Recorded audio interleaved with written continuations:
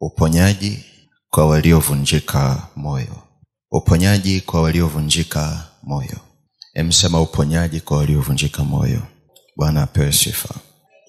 Fungua na mimi kitabu cha isaya sura ya 61 isaya sura ya 61 nitasoma kuanzia mstari wa kwanza. Neno la mungu linasema roho ya bwana mungu i juu yangu kwa sababu bwana amenitia mafuta. Kwa sababu bwana amenitia mafuta. Ukisoma kwenye maandiko hautakutana na neno ambalo tumezoea kulishikia na kulitumia linaloitwa upako. Lakini utakutana na maneno yanayosema kutiwa mafuta. Na mafuta ilikuwa ni ishara mojawapo ya kuonyesha ya kwamba nguvu za mungu zimeachiliwa mahali kwa ajili ya kutumika. Kwa hiyo kama kuna mfalme anatakiwa apewe nafasi ya utawala kama kuna kiongozi ambaye anatakiwa apewe nafasi ya uongozi jambo mojawapo liliyokuwa linafanyika lilikuwa ni kumpaka mafuta. Na yale mafuta yalikuwa yanatumika kama ishara ya kuonesha ya kwamba nguvu za mungu zipo juu ya huyo aliyepakwa mafuta ili zimsaidie atumike kwenye nafasi yake. Bwana apewe sifa. Sasa maandiko anasema roho ya bwana. Na hili neno roho limeanzia kwa herufi kubwa ikiwa na maana roho mtakatifu. Anasema iko juu yangu kwa sababu bwana amenitia mafuta. Maana yake amenipa nguvu maana yake amenipa uwezo. Uwezo wa kufanya nini? Kuwahubiri wanenekevu habari njema.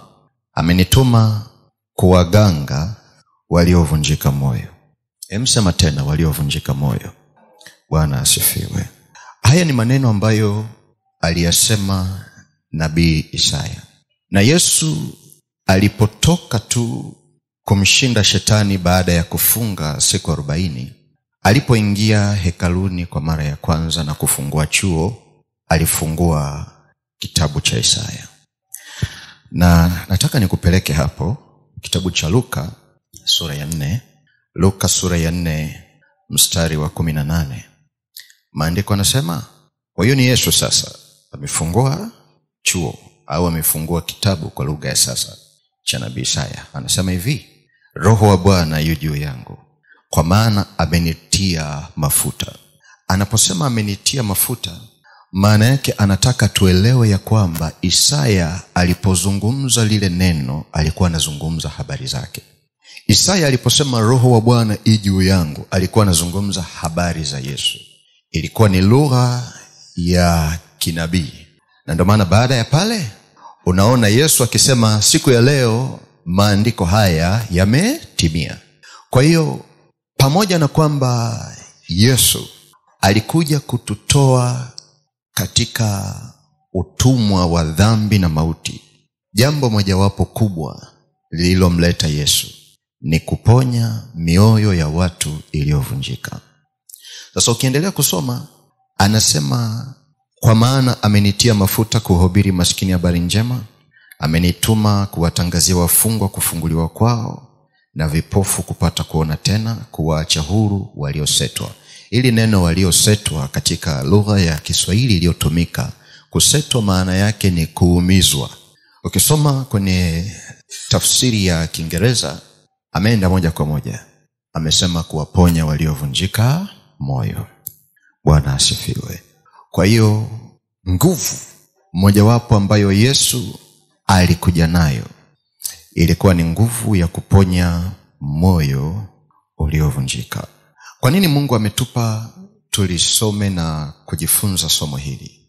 Wakati namuuliza roho mtakatifu akaniambia waambie ninataka niwape nguvu ya kusonga mbele. Bwana apewe sifa. Moyo unapovunjika una uwezo wa kukufanya usitamani kuendelea na safari uliokuwa unaendelea nayo usitamani kuendelea kufanya kazi uliokuwa unaendelea kuifanya.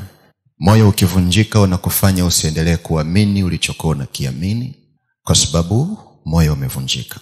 Kati ya vitu vikubwa sana ambavyo mungu alimpa mwanadamu ni moyo. Moyo ni kitu cha muhimu sana ni kitu cha thamani sana ambacho mungu alimpa mwanadamu. Kwa hiyo yoyote mwenye nguvu juu ya moyo wako ana nguvu juu ya maisha yako. Yeyote anayeushinda moyo wako anayashinda maisha yako. Ni kitu cha ajabu sana kwa sababu mungu mwenyewe aliamua kuweka ufalme wake ndani ya mioyo ya watu.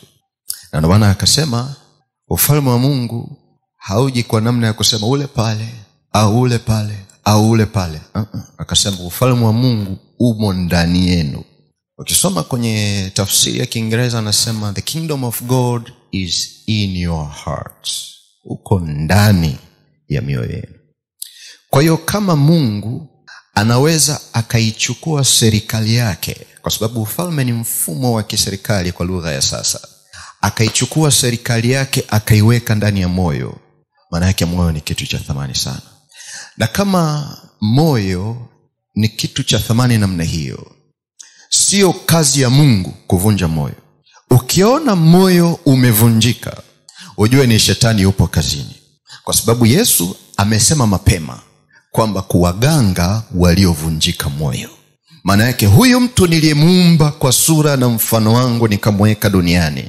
Nilimpa moyo ulio mzuri. Nilimpa moyo unaotenda kazi vizuri.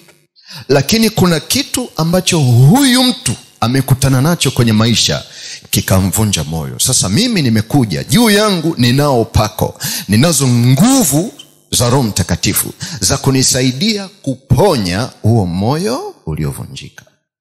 Sasa kama kuvunja moyo sio kazi ya mungu na kama kuvunja moyo ni kazi ya shetani swala la msingi la kujiuliza shetani anatafuta nini kwenye moyo wako?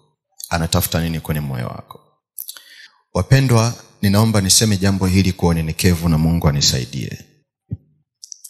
Maisha yako ya sasa na maisha yako ya baadaye yanategemea hali ya moyo wako. Moyo wako ndio unaamua kesho yako itakuwaje. Moyo wako ndio unaamua leo yako itakuwaje. Kwa hiyo kama ulimwengu wa giza unataka kukuharibia siku yako sehemu ya kwanza utaenda kuharibu amani ya moyo wako. Kama shetani anataka kukuharibia kesho yako eneo la kwanza ataenda kugusa moyo wako. Bwana apewe sifa. Na ni muhimu sana kukumbuka shetani huwa hagusi kitu kisichokuwa na kitu.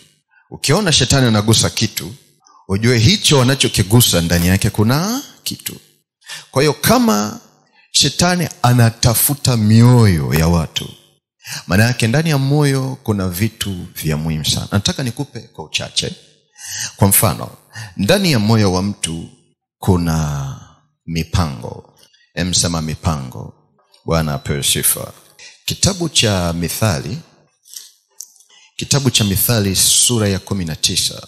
Mithali sura ya kumi na tisa mstari wa ishirini na moja maandiko anasema mna hila nyingi moyoni mwa mtu lakini shauri la bwana ndilo litakalosimama. Ili neno hila maana yake mipango. Kwenye tafsiri ya kiingereza anasema many are the plans. Kuna mipango mingi katika moyo. Kwa hiyo mpango au mipango ya maisha yako inatoka kwenye moyo haitoki kwenye kichwa una mpango wa kujenga. Huo mpango kwa mujibu wa maandiko hautoki kwenye kichwa unatoka kwenye moyo wako. Una mpango wa kuanza biashara. Kwa mujibu wa maandiko huo mpango hautoki kichwani unatoka kwenye moyo. Una mpango wa kusoma kuendeleza elimu yako. Kwa mujibu wa maandiko huo mpango hautoki kichwani unatoka kwenye moyo wako.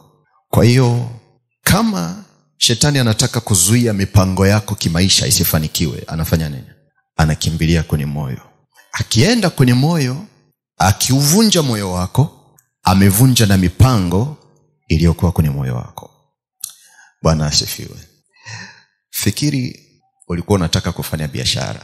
Unao mtaji na umepata eneo zuri la kufanya biashara na unauhakika kabisa kwamba hiyo biashara yako itafanikiwa. Alafu ghafla shetani anatuma mtu.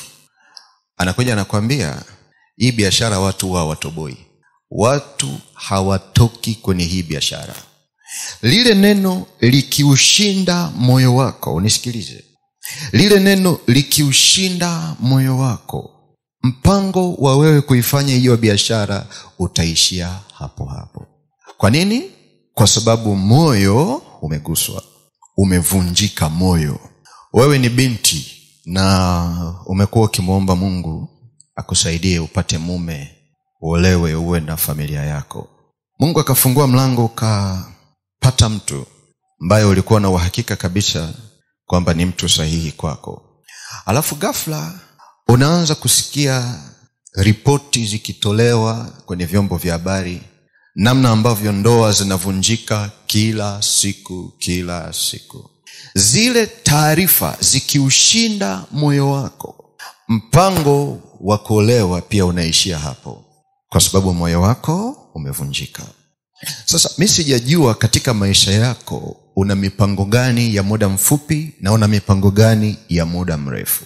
Katika mipango yoyote ulionayo mungu anataka kukufanikisha na kukupigisha hatua. Mungu anataka kukupeleka katika kiwango kingine.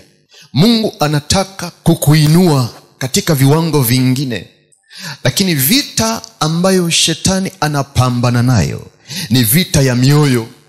Anatafuta namna ya kuuvunja moyo wako ili kuua mipango iliyoko ndani yako. Kwa sababu moyo uliobeba mipango ukivunjika na mipango pia imevunjika. Bwana apewe sifa. Ndani ya moyo kuna nini mwalimu? Ndani ya moyo kuna imani kitabu cha warumi sura ya kumi mstari wa kumi. Warumi sura ya kumi mstari wa kumi maandiko anasema hivi.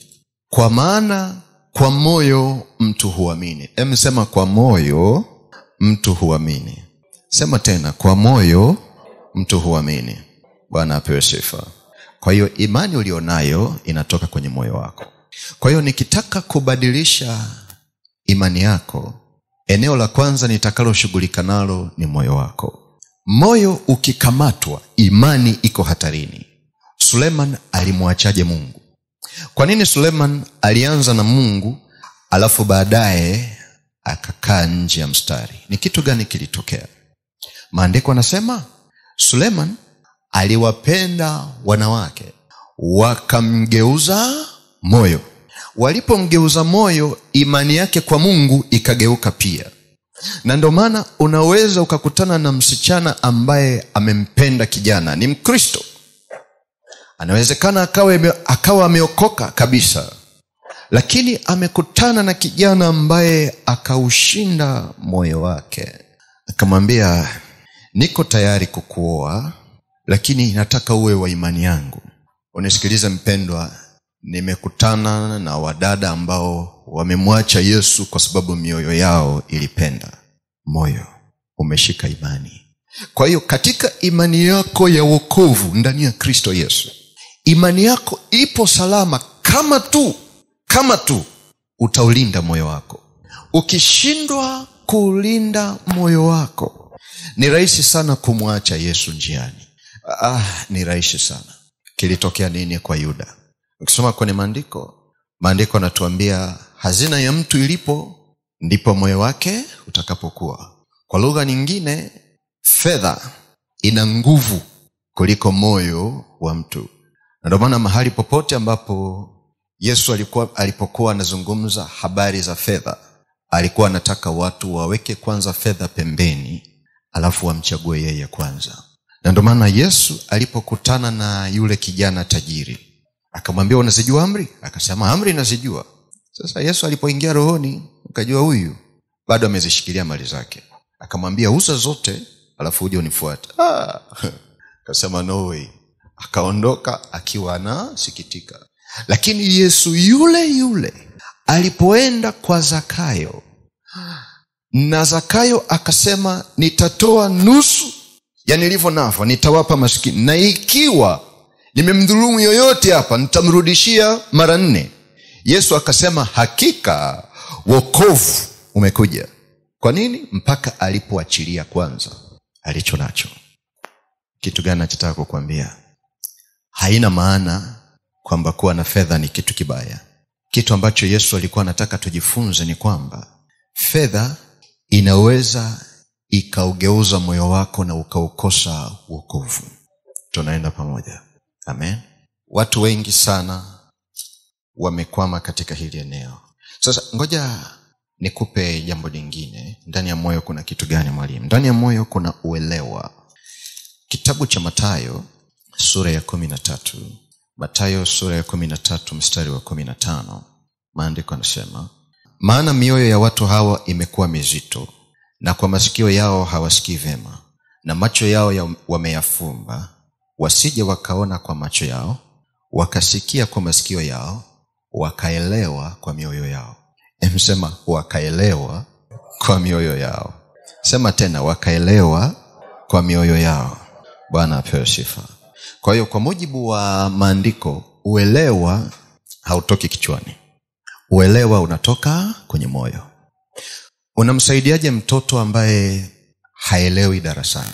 Unamsaidiaje mtu ambaye hana uelewa wa mambo. Fikiri unafanya kazi. Pengine umeajiriwa na siku hiyo bosi alikuwa ni mkali kweli kweli.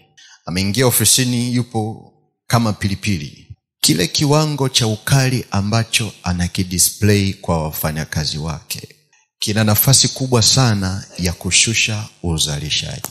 Kwa sababu ukiujeruhi moyo wa mtu kiwango chake cha kukuelewa kinaenda chini pia. Na ndio maana kama una mtoto yule mwalimu ambaye anampenda sana ndiye anayefaulu masomo yake. Kama hampendi mwalimu wa hesabu hata hesabu nayo pia anafeli pia. Kwa sababu uelewa unaanzia moyoni. Kwa hiyo yule mwenye nguvu ya moyo wako pia ana nguvu ya ufahamu wako uelewa wako. Siku moja nilikuwa ninamfundisha mwanangu hesabu. Na aina ya mwalimu aliyokuwa naye alikuwa ni mwalimu mkali sana. Kwa hiyo kila akimwona mwalimu ile hamu ya kusoma ina, inapotea. Kwa sababu tayari moyo wake ulikuwa umeshajeruhiwa na matukio ya yule mwalimu. Kwa hiyo wakati ninajaribu kumsaidia pale alipokuwa amekwama. Nikagundua tatizo lake ni nini. Tatizo lake sio kwamba hajui lakini tatizo lake ni kwamba uelewa wake umefunikwa kwa sababu moyo wake umejeruhiwa. Kwa hiyo nikasema hapa sio sehemu ya kuomba lakini nitashughulika kwanza na moyo wake. Na moyo una ugonjwa wa kupenda.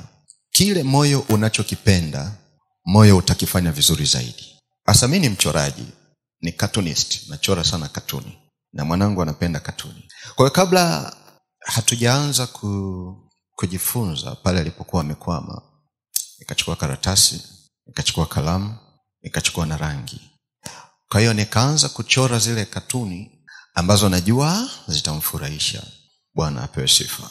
Kadri nilivyokuwa nachora zile katuni alafu nikawa napitisha ile concept iliyokuwa inamsumbua kupitia katuni akaanza kufurahi sana. Halafu ndani ya muda mfupi akawa ameshaelewa concept nzima. Kwa hiyo moyo wake ulipopona ufahamu ukarudi mahali pake. Labda niseme hivi moyo wa mwanadamu haukuumbiwa kuumizwa lakini tunajifunza kuumia katika maisha. Your heart was not wired for pain lakini wewe unajifunza maumivu kupitia maisha. Na moyo ulipewa sensitivity. Emsema sensitivity. Hata kama hujui kiingereza tusema tu sensitivity. Bwana asifiwe. Uh, kama umewahi kwenda kwenye yale majengo ambayo unakuta hapa juu kuna kuna kile kidude kina sense kama kuna kuna moshi ha? Ili kipiga alam kama jengo linaungua msaada upatikane haraka. Amen. Kwa hiyo ukichukua karatasi ukawasha alafu ukasogeza pale ule moshi ukifika kwenye kile kifaa tayari jengo zima linapiga alam wangapi mmewahi kuona hiyo? Hata kusikia hata kwenye tv haleluya kumbe tunaelewa. Sasa ule mfumo ni mfumo ambao upo katika moyo wa mwanadamu mahali popote ambapo kuna jambo linalouhatarisha moyo moyo una kawaida ya kujifunga. Na moyo unapojifunga huwa ni defense mechanism. Unajaribu kujilinda ili mabaya yasitokee. Lakini katika kujilinda huko kuna vitu vingi vinakuwa vimefungiwa. Kwa mfano kama ni jambo linalohitaji uelewa uelewa unafungiwa pia kama ni jambo linalohitaji imani imani inafungiwa pia. Bwana asifiwe. Na kuombea moyo wako usifungiwe kwa jina la yesu. Na kuombea moyo wako usifungiwe kwa jina la yesu. Emsema bwana yesu. Wewe ni mungu wangu. Wewe ni bwana wangu. Wewe ni mwokozi wangu. Asante kwa neema yako. Asante kwa siku ya leo. Ninakuomba. Niponye moyo wangu. Niponye moyo wangu katika jina la yesu. Katika jambo lolote ambalo shetani analiwinda ndani ya moyo wangu yesu niokoe. Yesu nisaidie. Katika jina la yesu. Katika jina la yesu. Katika somo hili naomba useme na mimi. Naomba useme na mimi. Naomba uniponye. Ili nisonge mbele katika jina la yesu. Nisaidie nisibaki nilivyo. Nisaidie nisonge mbele. Nisaidie nipige hatua. Katika jina la yesu. Roho mtakatifu. Roho mtakatifu. Natambua nguvu zako. Natambua uweza wako. Naomba unisaidie. Naomba unisaidie. Naomba unisaidie katika jina la yesu na kwa damu ya yesu. Amen. Mungu awabariki na kuwatunza